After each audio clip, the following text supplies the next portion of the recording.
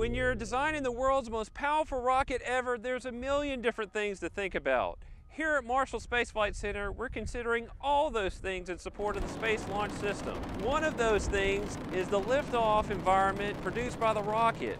Marshall Space Flight Center, in coordination with other centers such as Langley and Kennedy Space Centers, have designed this test setup in order to answer the questions of what are the liftoff environments produced during the vehicle, what are the liftoff environments seen by the tower and mobile launch pad, and what are the water sound suppression systems needed in order to mitigate these sound levels.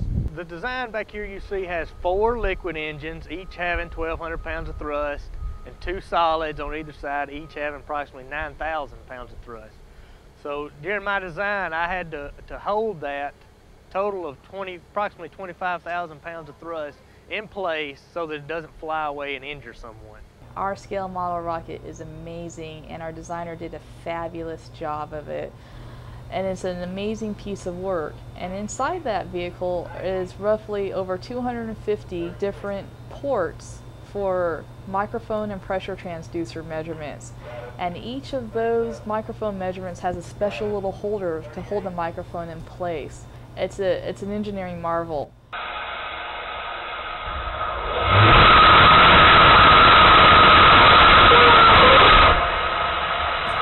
Loud sound can be very damaging both to the rocket vehicle and the cascading has been important for every launch vehicle we've ever designed, and it's especially important when you're designing the most powerful rocket ever.